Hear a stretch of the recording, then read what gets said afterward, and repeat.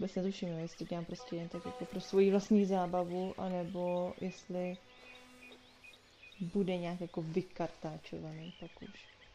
Ale vím, že mi tam na tom srdíčku jeho neustále jako bliká kartáč, takže asi to potřebuje, no jako práší se z něj slušně. Otázka, jestli to je efekt, který se objeví vždycky, anebo jestli je to efekt, protože je fakt nějaký za, zašpiněný hodně. Třeba zjistím, že mám jinou barvu potom. Kartáčou bude úplně černý. Nebo bílej.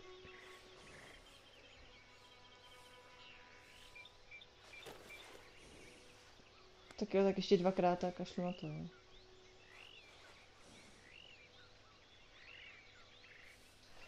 Hm. Mě napadá, že když se podívám na to studování, že by tam možná mohlo být napsáno třeba něco jako vykartáčováno na 90%.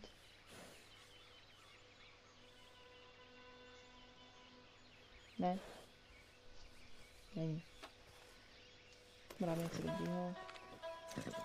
Ještě ho pochválíme.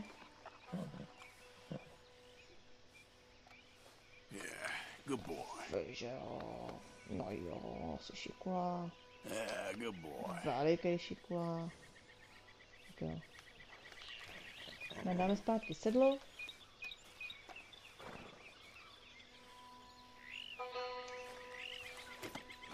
Nějaký mexický sedlo nebo co?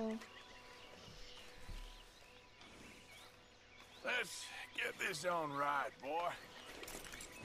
Super, a teď ještě přidělám zpátky toho krocana bude to. Krocany!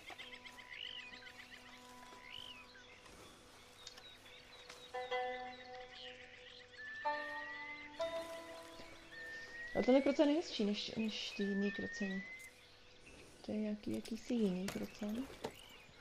Co tam psali? Americký divoký krocan? Nebo co tam psali? Nevím. Tak a já pokračuju dál, protože je světlo, tak se můžu konečně vydat na losy. Nevím, jestli potřebuju nutně ulovit toho legendárního. Klidně můžu začít úplně obyčejným losem. S těma lopatama na palici. Dobré. No ahoj. To já jako jsem trošku líná, to je fakt. Ale teda víc to bylo kvůli malý, prostě vůbec nebylo možný jí poslední půl rok nějak rozumně uspat. Strašně, strašně jako...